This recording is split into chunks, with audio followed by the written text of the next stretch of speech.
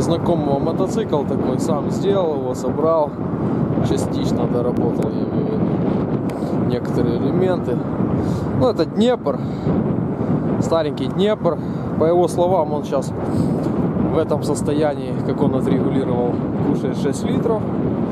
Нормально, говорит, 160 километров в час едет.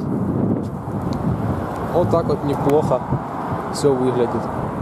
Мотоцикл сам старенький, конечно, но человек следит, все прекрасно выглядит.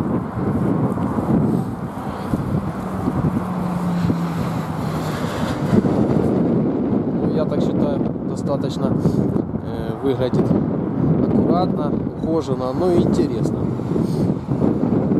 Давайте покажу узлы. Такие вот колесики.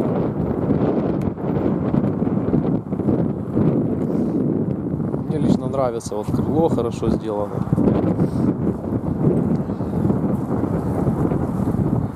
Стопачок, все как положено. Вон мой козлик там стоит. Вы видите, есть подножки для дальнячков. Вот так вот, ребят, много денег не надо, чтобы хороший и интересный мотоцикл сделать. Ну, нужно время и руки, конечно. Все, всем пока.